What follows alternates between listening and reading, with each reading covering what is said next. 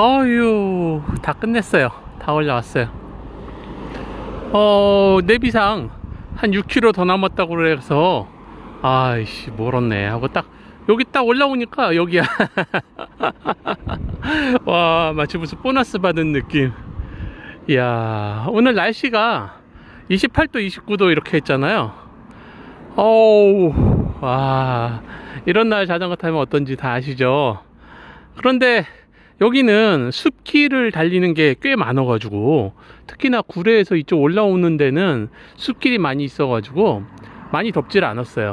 어, 그냥 그냥 어, 괜찮게 올라왔어. 그리고 길도 아스팔트 도로가 꽤나 많이 있어요. 물론 이제 중간에 공사 중인 곳이 있어 가지고 우회로를 이제 농로로 지나가야 돼서 그거는 좀 불편한 게 있었는데 그거 말고는 다 괜찮았어요.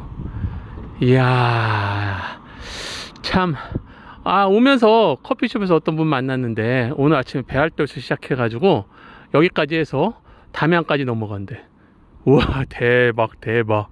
아, 나는 1박 2일에 하루 자고 이렇게 넘어가는데, 야, 그, 스피드하고 주행거리는 다 달라요, 사람마다.